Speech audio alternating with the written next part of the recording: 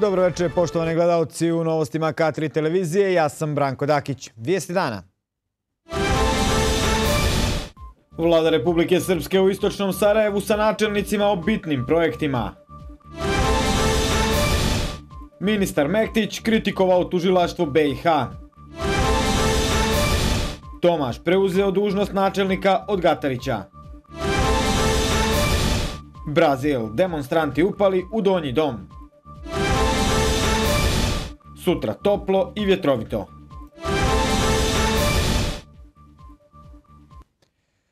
Vlada Republike Srpske danas je zasjedala u Istočnom Sarajevu. Održana je jubilarna stota sjednica Vlade Srpske. Sjednici su prisustovali i načelnici opština Sarajevsko-Romanijske regije.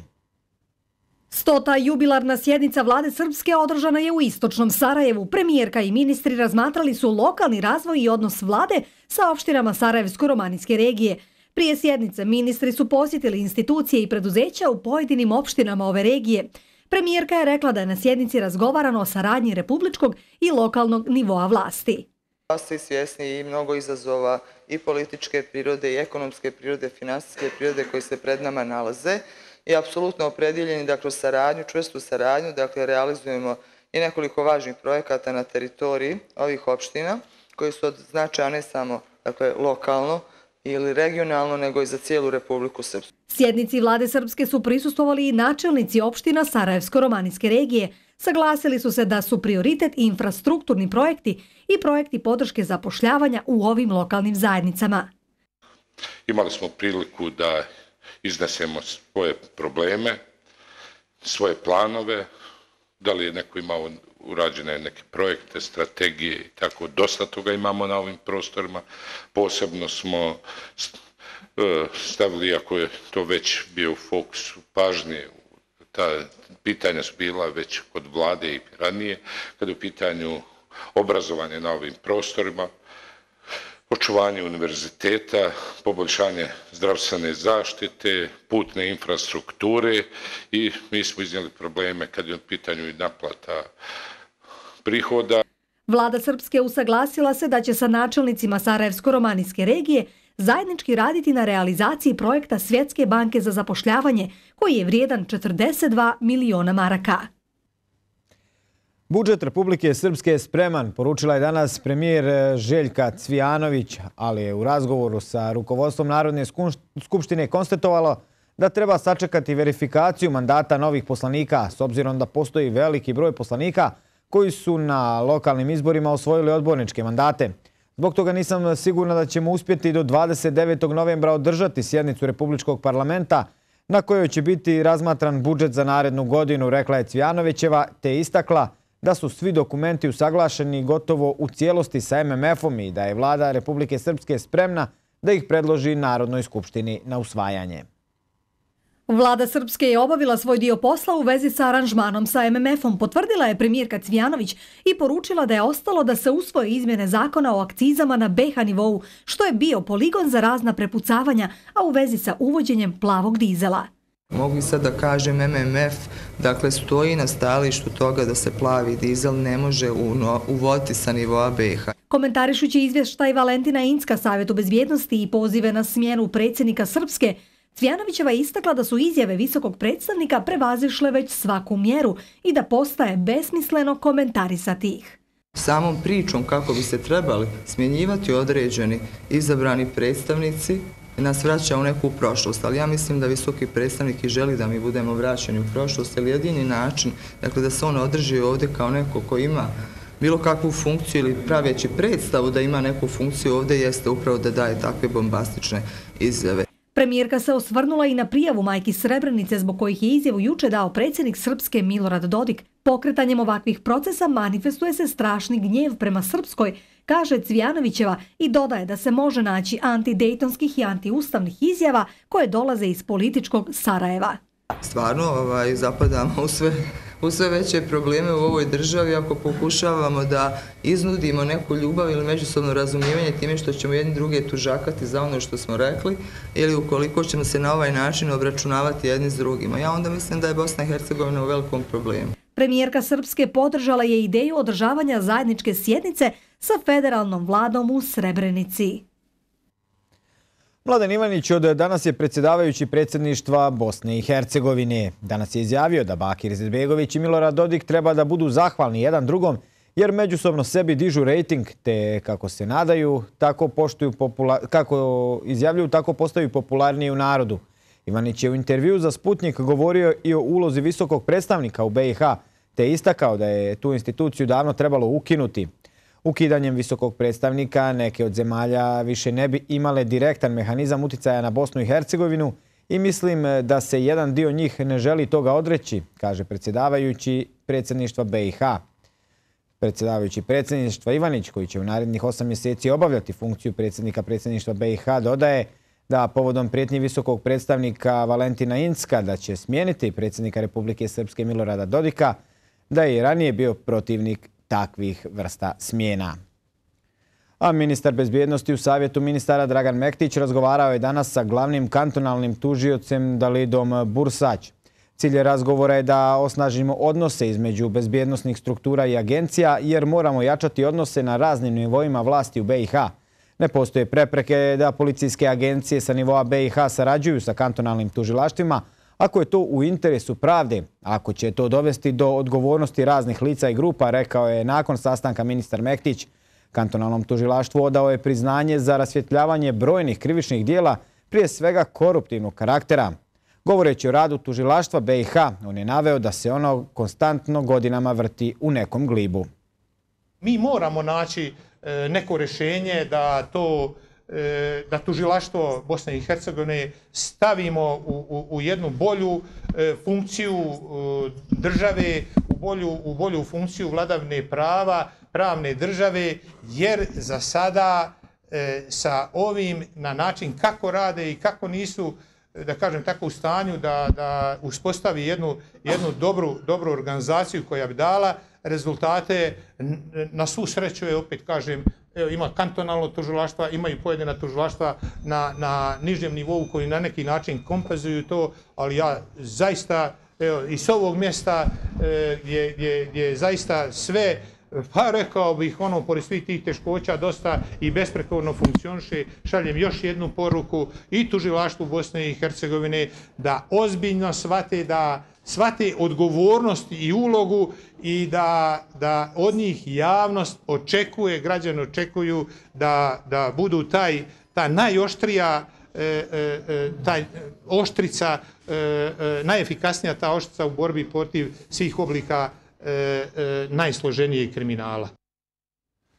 A u Sarajevo je danas održana prva sjednica kolegija za evropske integracije. Poručeno je da sada više nego ikada postoji potreba za jačanjem saradnje predstavnika svih nivoa vlasti u procesu evroatlantskih integracija. Danas održana prva sjednica kolegija za evropske integracije važna je zbog činjenice da će BiH već početkom decembra dobiti upitnik Evropske komisije kojim će i započeti proces izrade mišljenja o članstvu BiH u Evropsku uniju. Predsedavajući Saveta ministara BiH Denis Vizdić naglašava da sve druge obaveze i aktivnosti koje proističu iz procesa EU integracija zahtijevaju koordinaciju i blisku saradnju u skladu sa odredbama mehanizma koordinacije. Materijali se E, nalaze e, u završnoj fazi uh, svoga usaglašavanja, odnosno danas smo prihvatili par tehničko-stručnih sugestija, iste će biti ugrađene u ova tri materijala i materijali će po principu rada samog kolegija biti usvojeni u narednih sedam dana, čime ćemo otvoriti prostor ili uspostaviti principe da se odmah etabliraju ministarske konferencije, njih će biti 11 i one će biti značajan e, stručni suport, stručna podrška e, za rad svih drugih tijela unutar mehanizma koordinacije. Predsjednica vlade Srpske smatra da se kolegijum na današnjem sastanku bavio stvarima koje još nisu u potpunosti završene, jer su razmatrani određeni izuzetno važni akti, obzirom na to da nije postignut potpuni konsenzus o tome kako ti akti treba da izgledaju. Ostavili smo da se o tome izjašnjavamo za par dana i u nekih 7 do 10 dana to će biti završen posao. Ono za što smo posebno zainteresovani, kao što sam rekla, jeste samo upustvo koje se odnosi na ministarske konferencije i sav poslovnik koji reguliše rad i naše pravila ponašanja je nešto za što je vlada Republike Srpske krajnje krajnje zainteresovana i hoćemo da tu se posveti posebna pažnja. Iz tog razloga smo tražili da se da dodatno vrijeme da se ugrade naše sugestije. Cvijanovićka je apelovala na svijest i razumijevanje svih učesnika da jedni drugima ne prave probleme i da treba da se uvažavaju, jer to podrazumijeva i uvažavanje institucija. Zvizdić je poručio da sada, više nego ikada, postoji potreba za jačanjem saradnje predstavnika svih nivoa vlasti u BiH u procesu EU integracija. Vojno-disciplinska komisija oružanih snaga Bosne i Hercegovine danas je oslobodila odgovornosti poručnika Nenada Pavića, koji je u uniformi glasao na referendumu o danu Republike Srpske, potvrdio je njegov advokat Milan Petković. Petković je rekao da je ova odluka donesena na javnoj raspravi, tokom koje je disciplinski tužilac iznio svoje navode da je poručnik Pavić kriv i da je počinio disciplinski prestup jer je izašao na referendum o danu Republike Srpske. Odbrana naravno nije negirala da je on izašao na referendum, samo što smo negirali da bi to bio prekršaj bilo kakvoj praksi, pozvali smo se na odredbe zakona o referendumu koji zabranjuje vođenje postupka protiv bilo kog građanina koji glasa na referendumu, te govorili da je Pavić postupao u skladu sa pravilima i zakonodavstvom Republike Srpske, dodao je Petković. A Ustavno-pravna komisija Doma naroda Parlamentarne skupštine BiH usvojila je danas mišljenje koje će biti dostavljeno Ustavnom sudu BiH o zahtjevu poslanika Narodne skupštine Republike Srpske za ocjenu ustavnosti zakona o proglašenju 1. marta danom nezavisnosti BiH, u kojem se navode činjenice koje i kada donio navedeni zakon. Predsjedavajući komisije Halid Genjac pojasnio je da je Ustavno-pravna komisija postupila kao i u drugim sličnim slučajevima, odnosno Ustavni sud BiH upoznala sa određenim činjenicama, ne upuštajući se u raspravu. Ustavnopravna komisija je na današnjoj sjednici konstatovala da je zakon o 1. martu donijela Skupština Republike BiH 28. februara 1995. godine, a da je ukaz o proglašenju zakona kojim je 1. mart proglašen danom Bosne i Hercegovine i državnim praznikom potpisao predsjednik predsjedništva Republike BiH Alija Izetbegović 6. marta 1995. godine. U, se, u mišljenju se podsjeća da je odredba aneksa 2.2 Ustava BiH propisano da svi zakoni, propisi sudski poslovnici koji budu na snazi na teritoriji BiH kada Ustav BiH stupi na snagu, ostaju na snazi u punoj mjeri u kojoj se neko se sa Ustavom sve dok je nadležno vladino tijelo Bosne i Hercegovine ne odredi drugačije. A Dejan Kusturić po svim najavama novi je direktor Fonda zdravstvenog osiguranja Republike Srpske. Kusturić će na toj poziciji naslijediti Darka Tomaša, koji je na čelu fonda bio od kraja 2012. godine, a koji je danas preuzeo dužnost načelnika opštine Prnjavor. Darko Tomaš od danas načelnik opštine Prnjavor razriješene dužnosti direktora Fonda zdravstvenog osiguranja Republike Srpske. Umjesto njega na direktorsku poziciju u fondu dolazi Dejan Kusturić, aktuelni direktor Gradske razvojne agencije Banja Luka i predsjednik futbalskog kluba Borac. U izjavi za našu televiziju Tomaš kaže da je zadovoljan svojim četvorogodišnjim mandatom na ovoj poziciji, te da fond ostavlja u mnogo boljem stanju nego što je bio prije četiri godine kada je on preuzeo dužnost direktora mislim da je najveći napredak napravljen i u, u smislu održavanja istog nivoa ili kvalitetnijeg zdravstvene zaštite za sve stanovnike Republike Srpske i pored toga što je svake godine, odnosno iz godinu u godinu, bilježi se sve manji i manji priliv doprinosa, kažem, održava se zdravstvena zaštita na nivou čak svake godine i kvalitetnija nego što je, nego što je prethodnih godina. Fond zdravstvenog osiguranja Srpske, kada poredimo zemlje u regionu, ima najmanji prihod po osiguraniku. Ali, kako Tomaš kaže, po pitanju kvaliteta pružanja zdravstvene zaštite, ni u jednom segmentu ne zaostajemo. Sve ono što nije moguće da se uradi u Republici Srpskoj, ljudi budu upućeni na liječenje van granica Republike Srpske, ne samo u Srbiju i Crnu Goru, nego nego i dalje i u tom kontekstu, kažem, svi naši osiguranici imaju najkvalitetniju zdravstvenu zaštitu i u današnjim uslovima veliki uspjeh da se to održi.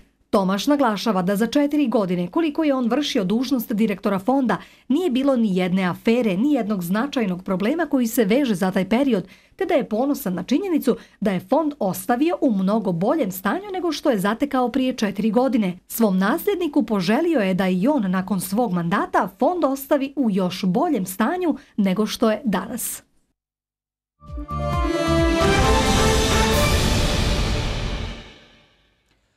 U Prnjavoru je danas izvršena primopredaja vlasti između dosadašnjeg načelnika opštine Siniše Gatarića i novoizabranog Darka Tomaša. Nakon potpisivanja zapisnika o primopredaji, bivši i novoizabrani načelnik su izmijenili riječi zahvalnosti te poželjeli jedan drugom uspjeh u budućem radu i životu.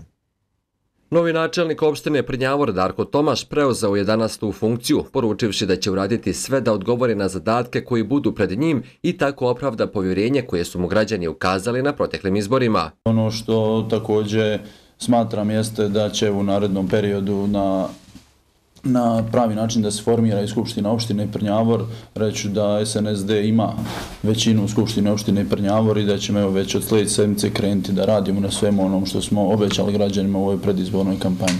Na pitanje novinara kako ocjenjuje trenutno stanje u opštini koje ga čeka po preuzimanju dužnosti načelnika, Tomaš odgovara. Ne bi govorio danas, obzirom da vidite da je dokumentacija obimna, ja vjerujem ljudima koji su bili ovde u komisiji da je to urađeno na pravi način i svakako nakon par dana kad stvarno sagledam stvarno stanje da ću se obrati javnosti i reći podatke kakve sam, kakve sam preuzeo. Ono što mogu sam reći jeste kad sam ja predavao dužnost da sam uvjeren da sam ju predao puno, u puno boljem stanju nego što sam je tada preuzeo.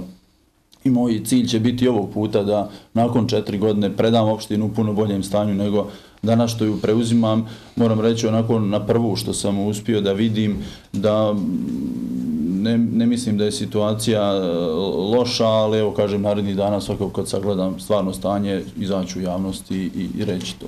Bivši načelnik Siniša Gatarić je izrazio zadovoljstvo što je primopredaja obavljena korektno. On je naglasio da će kao predsjednik opštinskog odbora SDS-a u Prinjavru insistirati da ova stranka bude oštra, ozbiljna i prije svega konstruktivna opozicija u lokalnoj skupštini. Mi ćemo podržati sve ono što bude u interesu naših građana, one, one stvari s koje ne budemo zadovoljni, to ćemo pokušati preko amandmana i drugih demokratskih, da kažemo, sredstava da djelujemo, da popravimo i naravno s onim s čime se ne budemo slagali, to ćemo oštro kritikovati.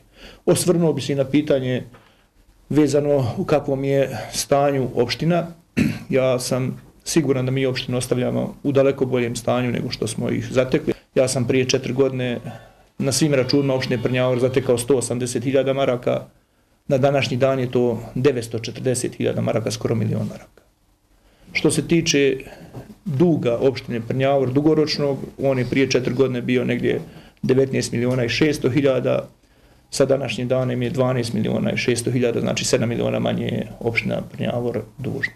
Što se tiče tekućeg deficita, prije četiri godine sam zatekao deficit 800 i nešto hiljada maraka, danas je suficit 300 hiljada. Što se tiče punjenja budžeta, prije četiri godine bio 53%, sada je 80,81%. Darko Tomaš iz SNSD na oktobarskim izborima osvojio je 12.317 glasova, dok je Siniša Gatarić iz SDS-a dobio povjerenje 7.497 birača. Načelnik opštine Kostajnica Drago Bundalo, koji je predsjednik opštinskog odbora SDS-a i predsjednik opštinskog odbora SNSD-a Nikola Janjetović, potpisali su danas sporazum o formiranju skupštinske većine u lokalnom parlamentu. Potpisnici sporazuma su se saglasili da će zajedno sa drugim političkim partijama koji su potpisale sporazum kao i onima koji će to učiniti narednih dana formirati stabilnu skupštinsku većinu koja će raditi na konkretnim stvarima i implementaciji projekata iz strategije razvoja kao najznačajnijeg dokumenta u ovoj lokalnoj zajednici. Prema koalicijonim sporazumu SDS-a i SNSD-a Funkciju predsjednika Skupštine opštine pripašće SNSD-u, kojem pripada i pozicija načelnika odjeljenja za opštu upravu i direktora javne preškolske ustanove Klub za djecu Kestenko. Koalicijoni sporazum sa načelnikom opštine prethodno su potpisali predstavnici SDA i Socialističke partije. A na konstitutivnoj sjednici Skupštine grada Bijeljina danas je izabrano novo rukovodstvo lokalnog parlamenta i 18 skupštinskih radnih tijela. Za predsjednika Skupštine grada izabran je Slaviša Marković iz PDP-a, podpredsjednik je Milenko Mitrović iz Srpske radikalne stranke dr. Vojislav Šešelj, a vršilac dužnosti sekretara Miodrag Bešlić iz SDS-a. Sjednici lokalnog parlamenta prisustovalo je 30 odbornika od ukupno 31. Gradonačelnik Bijeljine Mićo Mićić i svi odbornici položili su danas svečanu izjavu. Mićić je istakao da je urađen dobar posao za grad Bijeljinu, jer su izborom skupštinskih radnih tijela i skupštinskog rukovodstva završene aktivnosti koje su u ranijem periodu vodili Gradska izborna komisija i Centralna izborna komisija BiH. Nadam se da e, i opozicija koja e, trenutno nije u skupštinskoj većini će biti konstruktivna opozicija, da će nama ukazivati na sve ono što je neophodno za ovaj grad, sve dobre inicijative i sve dobre prijedloge ćemo mi naravno usvojiti u interesu naših građana. Novoizabrani predsjednik Skupštine grada Slaviša Marković rekao je da je danas stavljena tačka na izbore i izborni ciklus, dodavši da je skupštinska većina stabilna. Očekujem da u narodnih četiri godine budemo zaista jedan dobar tim u saradnji sa svim odbornicima Skupštinske većine, ali i odbornicima opozicije i da narodne četiri godine radimo u interesu grada Biljna. Ono što bi želio naglasiti je da faktički sa konstituisanjem ove skupštine stabilna je skupštinska većina i stavljamo tačku na izbore, na izborni ciklus i očekujem da naredne četiri godine radimo kao jedan zaista dobar tim. Šef odborničkog kluba SNSD-a Nedeljko Ćorić rekao je da će SNSD i koalicija Bijeljina pobjeđuje u narednom periodu djelovati kao konstruktivna opozicija u isključivom interesu građana Bijeljine. Ćorić je ukazao i na neke propuste sa današnje sjednice. Hoću da kažem i aktualnog gradonačelniku i predsjednik Skupštine grada da će sa ove strane imati ljude koji će budući buduće čitati skupštske materijale, koji će djelovati zaista ovaj u interesu građana Bijeljne, a ne u nekom opštem stranačkom interesu i da se to pokazalo na današnjoj sjednici Skupštine grada Bijeljne, mi smo ovaj ukazali na neke nepravilnosti. Ono što nas iznenadilo i na što ne možemo da ostanemo imuni jeste da se danas za predsjednika Skupštine grada Bijeljne pod predsjednika Skupštine glasalo javno, iako je svim aktima predviđeno da se glasa tajno. Šef odborničkog kluba SDS-a Jovan Gajić ističe da je konstituisanjem Skupštine grada Bijeljina stavljena tačka na prethodni turbulentni period, te da se sada konačno može krenuti u realizaciju projekata i rješavanja ključnih problema građana. I svakako je zadovoljstvo Srpske demokratske stranke što smo danas uspjeli da faktički stavimo tačku na te turbulencije koje se događale u proteklih šest mjeseci i čvrstim odlučnim koracima mi iz kluba Srpske demokratske stranke i Srpske demokratske stranke zajedno sa odbornicima Skupštine većine i svakako odbornicima iz opozicije ćemo da učestvujemo u radu kreiranja buduće politike grada Bijeljna zajedno sa našim gradonačelnikom Mićićem. Na današnjoj sjednici Skupštine grada nije biran zamjenik gradonačelnika Bijeljine, a sljedeće zasjedanje biće održano prema najavi predsjednika lokalnog parlamenta najvjerovatnije 30. novembra. U Petrovu je danas zvanično formirana skupštinska većina od 11 odbornika predvođena Srpskom demokratskom strankom sa kojom se još pet političkih partija zajednički djelovati u naredne četiri godine. U opoziciji je ostalo šest odbornika iz tri partije.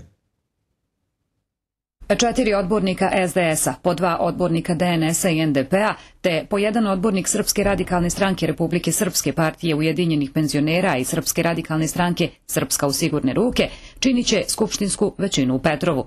Predsjednici opštinskih odbora ovih stranaka danas su potpisali sporazum o zajedničkom političkom djelovanju, čime su se obavezali da će u svom budućem političkom djelovanju ostvarivati zajedničke ciljeve koji se tiču opštine Petrovo u oblasti privrede, industrija, poljoprivreda, trgovina, ugostiteljstvo i turizam, infrastrukture, socijalne politike, zdravstva, obrazovanja, sporta i kulture, kao i racionalizacije opštinske uprave i profesionalizacije upravljanja preduzećima i javnim ustanovama, čiji je opština osnivač. Danas smo zvanično potpisali koalicijani sporazum skupštinske većine. Mislim da ćemo, što smo započeli vezano za projekte, ovaj, nastaviti sa radom. Također se nadam da će nova skupštinska većina imati ovaj, aktivnu ulogu u radu, kako skupštine opštine, tako i radu opštinske uprave na boljem životu građana opštine Petrovo.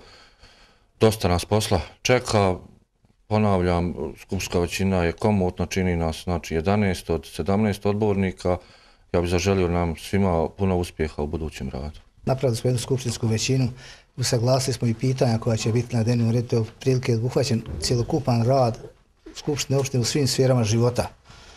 Zauzeli smo se da i u hodu rešavamo po neke stvari, da dodajemo što bude trebalo, uglavnom da idemo naprijed.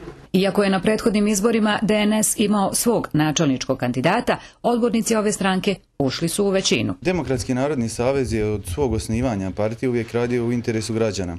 Tako da i ovo sad što se desilo danas, potpisan je koalicijni sporazum sa Srpskom demokratskom strankom, odnosno partije ispred kojeg je, ispred kojeg je kandidat za načelnika i pobjedio i formira većinu, apsolutno je normalno da i Demokratski narodni savez potpiše koaliciju sa, sa tom partijom koja formira da bi bili u vlasti i da bi tako radili u interesu građana.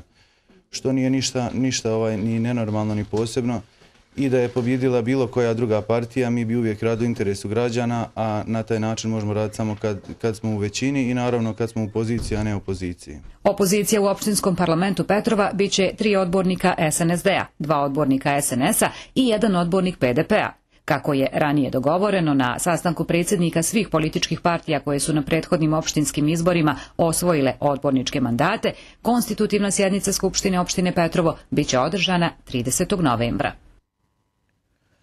Stranice Crne hronike ponese svakodnevno, a još jedan slučaj za ovu rubriku dogodio se večeras u Doboju oko 16 časova u ulici Kneza Miloša ispred kafe bara Kojot. Jedan mladić pokušao je samoubistvo pucajući iz pištolja u svom automobilu. U ovom slučaju niko se do sada nije oglasio, a u Dobojskoj bolnici kratko nam je saopšteno da je pacijent primljen i da je u toku njegova obrada. Nezvanično saznajemo da je riječ o Milošu Goganoviću, rođenom 1978. godine iz Doboja, a o motivima za pokušaj samoubistva u ovom trenutku može se samo nagađati. U svakom slučaju prava je sreća da nije stradao niko od prolaznika. A Prijedor i Prijedorsku regiju danas je posjetio ambasador Velike Britanije u BiH i razgovarao sa novim gradonačelnikom Milenkom Đakovićem o trenutnim problemima vezanim za ovu regiju. Nakon sastanka nije bilo izjava za medije, izdato je samo saopštenje kabineta gradonačelnika. Gradonačelnik Đaković, koji je nakon lokalnih izbora nedavno preuzeo ovu dužnost, istakao je da je prethodni gradonačelnik svom vizijom vodio ovaj grad, koji je danas jedan otvoreni proevropski grad. Gradonačelnik je potom upoznao ambasadora sa osnovnim karakteristikama vezanim za razvoj Prijedora, njegove demokratske karakteristike strateški razvoj Prijedora kroz uspostavljanje povoljnije političko-bezbedonosne klime za život građana i poslovanja. Gradonačelnik je naveo da cijela BiH ima isti problem, tako da je grad Prijedor svjestan toga i kao za fokus svoga rada stavlja ekonomiju i zapošljavanje – razvoj infrastrukture potrebne investitorima puteva kao što su autoput Banja Luka Prijedor Novi grad i brza cesta Prijedor Kozarska Dubica će u mnogome pomoći stranim investitorima da se odluče investirati u Prijedor što će uticati na razvoj ekonomije. Gradonačelnik je naglasio učešće grada Prijedora na trgovinsko-ekonomskom forumu održano 2013. u Londonu kao forumu saradnje Ujedinjenog kraljestva i Bosne i Hercegovine. Prijedo se također i predstavio kao grad povoljnog poslovnog okruženja što je rezultiralo brojnim posjetama biznismena nakon foruma.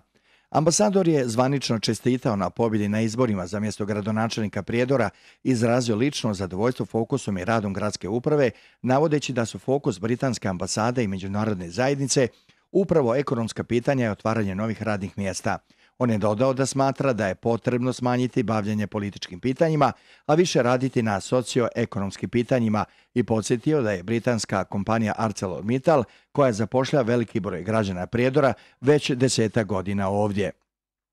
On je dodao da želi da pojača saradnju Britanske ambasade sa načelnicima i gradonačelnicima jer se oni bave životnim pitanjima građana. Rekao je da je cilj ove ambasade da poboljša imidž Bosne i Hercegovine kao zemlje za poslovanje te da Ujedinjeno kraljestvo ulaže 15 miliona maraka za unapređenje poslovnog okruženja u Bosni i Hercegovini. Ambasador Ferguson je mišljenja da se u BiH moraju donijeti nova strateška dokumenta koja bi bila u skladu sa evropskim standardima, a konkretno na poljima energetike, poljoprivrede, obrazovanja i okoliša. Kaže se u saopštenju za medije kabineta gradonačelnika Prijedora.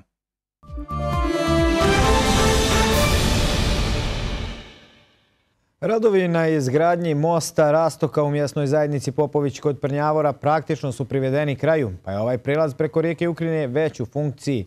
U narednih nekoliko dana biće završeni i ostali segmenti koji nedostaju, kako bi ovaj most bio u potpunosti završen.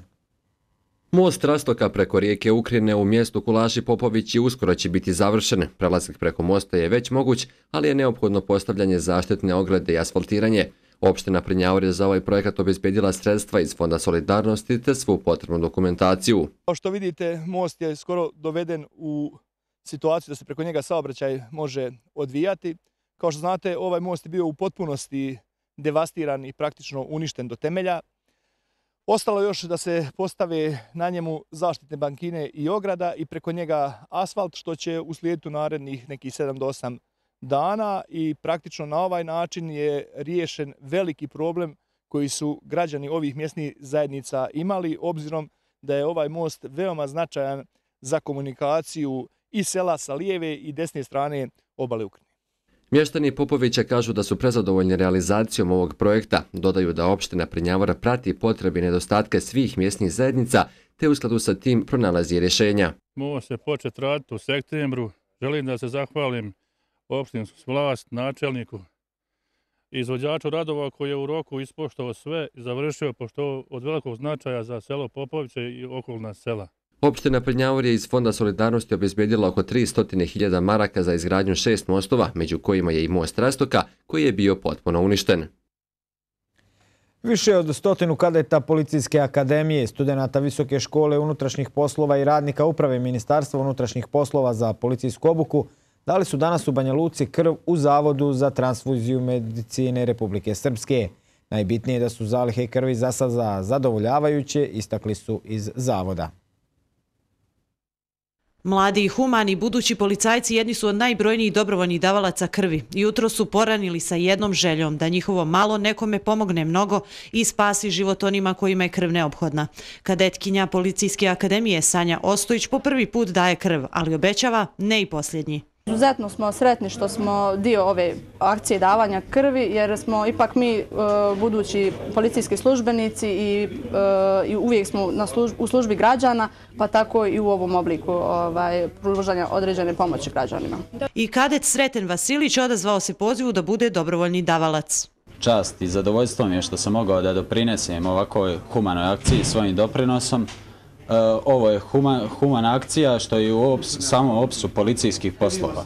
U narodnom periodu uvijek će se odazvati ovakvoj ili sličnoj akciji i pozivam sve građane i kadete da se odazovu u, u većem broju. Načelnik uprave za policijsko obrazovanje Mile Šikman rekao je da pripadnici MUPA nizom aktivnosti kao što i tradicionalno i kontinuirano davanje krvi pokazuju da je njihova profesija humana. Nama je posebno drago da smo uspjeli kod naših studenta i kadeta da razvijamo i svijest o potrebi dobrovoljnog davanja krvi, ali da ujedno kod njih razvijamo i da oni usvajaju ova načela humane, humanove strane policijske profesije i da to primjenjuju u svom radu jer oni su dio zajednice, rade u zajednici i svakako da ovaj način eh, se razvijaju i, i unapređuje povjerenje policije i zajednice što će u mnogome rezultirati i poboljšanjem policijskog rada.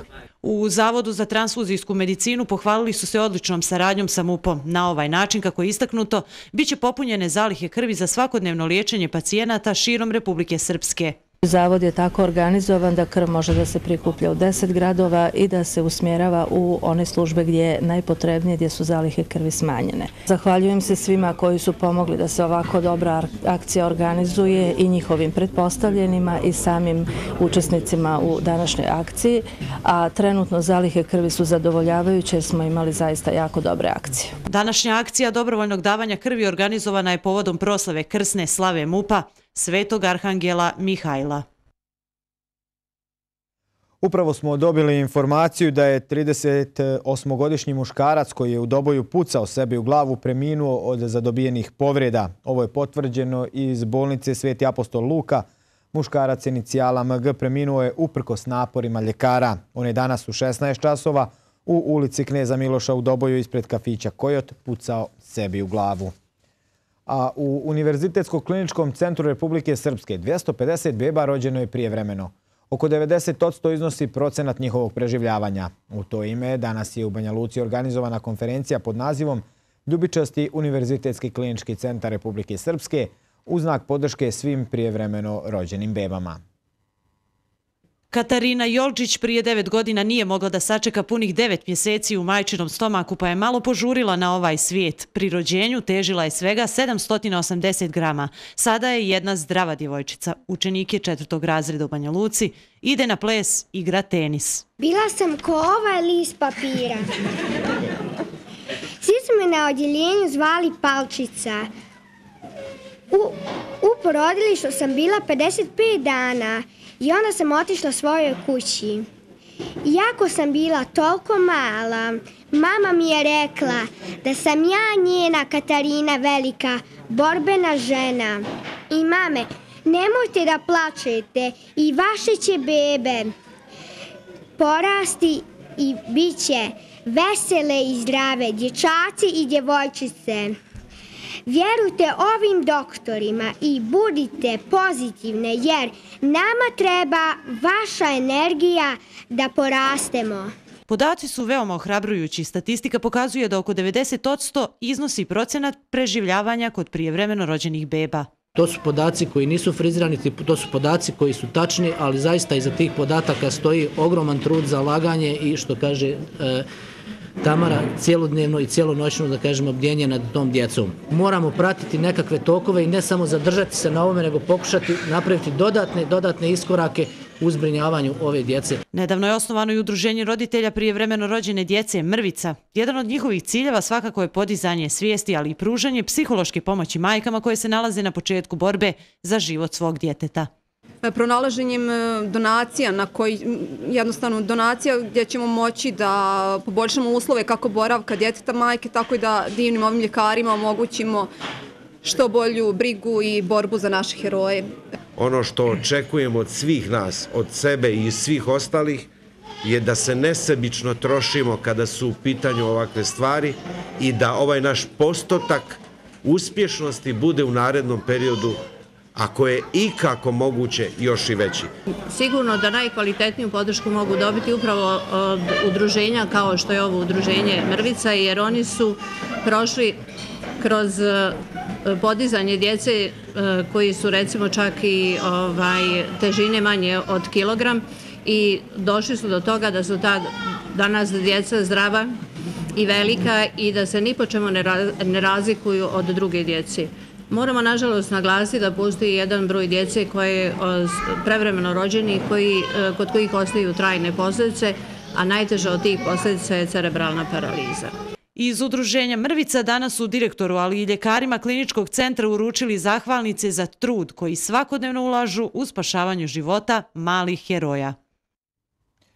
Dobo je danas bio domaćin okruglog stola pod nazivom korištenjem energije sunca do pozitivnih klimatskih promjena. Tema okruglog stola bili su solarni paneli, odnosno mogućnosti prednosti njihove upotrebe i instalacije.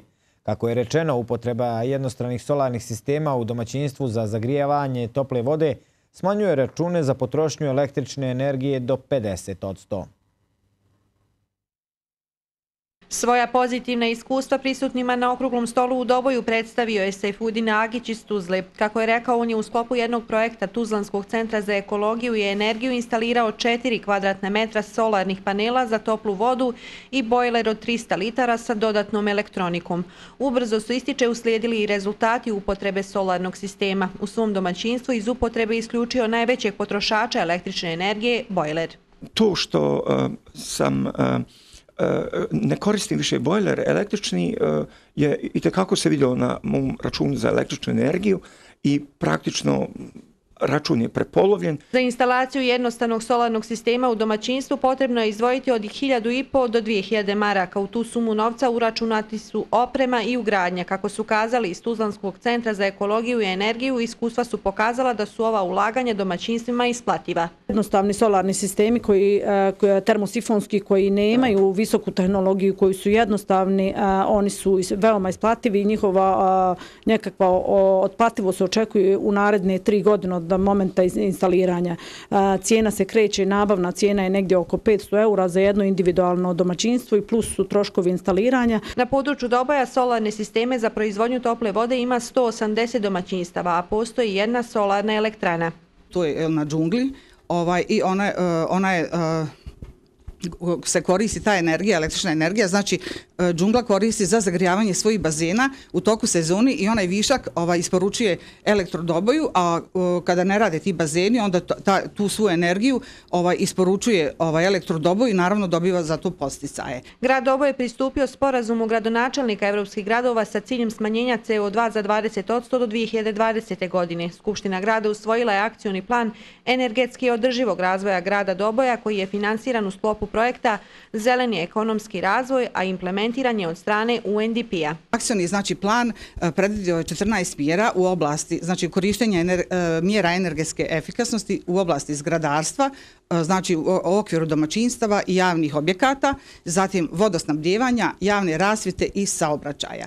Okrugli sto u Doboju, na kome su glavna tema bili solarni paneli, organizovao je Centar za ekologiju i energiju iz Tuzle u saradnji sa Udruženjem građana, Centar za menadžment, razvoj i planiranje MDP inicijative iz Doboja i gradom Doboj.